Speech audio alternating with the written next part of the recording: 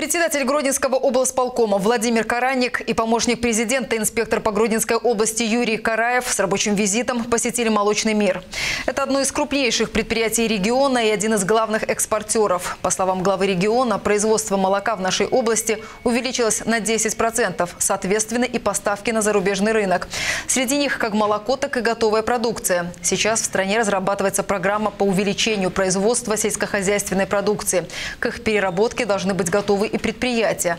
Молочный мир в сутки, к слову, уже перерабатывает 170 тонн сырья. Мы очень рады, что проведенная совместная работа позволила нашим предприятиям, в том числе и «Молочный мир», получить вновь доступ на российский рынок. Поэтому мы обсуждаем, как, какие планы по увеличению экспорта.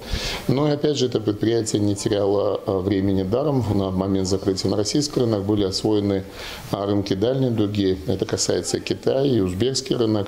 И здесь тоже вопрос обсуждения стратегии дальнейшего продвижения на эти рынки для того, чтобы а, мы диверсифицировали свой экспорт. Это не только Российская Федерация, но и страны дальней дуги по возможности наращивать экспорт, экспорт в страны ЕС. Представители местной власти также встретились и с трудовым коллективом предприятия, чтобы узнать, какие вопросы их волнуют и каким образом можно помочь. Я считаю, у нас в государстве выстроена очень э, четкая, действенная, эффективная система обращений гражданам к власти и очень четкая такая же обратная связь. Бывает так, что если, э, ну, допустим, вот помощник президента, да, инспектор по области, э, с людьми пообщался, это наиболее короткий путь сразу, как говорится, на самый верх донести проблемы людей.